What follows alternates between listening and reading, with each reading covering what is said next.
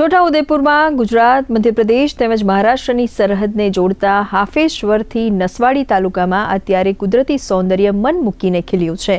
તેમાંય ધારસીમેલ ગામમાં આવેલ વરસાદી પાણીનો ધોધ નિહાળવા પ્રવાસીઓ આવે છે.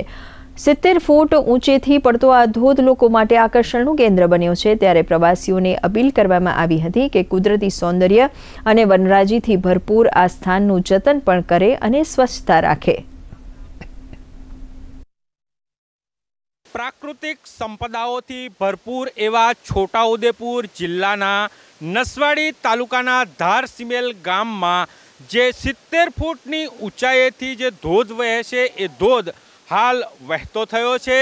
જેને લઈને પ્રવાસીઓ જે છે, પ્રવાસીઓ આ ધોધની મજા માણવા માટે દૂર દૂરથી આ ધારસિમેલ ગામે આવી રહ્યા છે. ત્યારે પ્રાકૃતિક સૌંદર્યથી ચઢળી ઉઠેલા ધારસિમેલ ગામનો આ ધોધ પ્રખ્યાત બન્યો છે રાજેશ રાઠવા દૂરદર્શન સમાચાર છોટાઉદેપુર